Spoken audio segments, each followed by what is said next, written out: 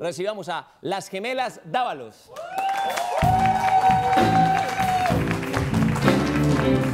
Había una que es mejor estudiante que otra, que fue mejor estudiante que otra. Claro que sí.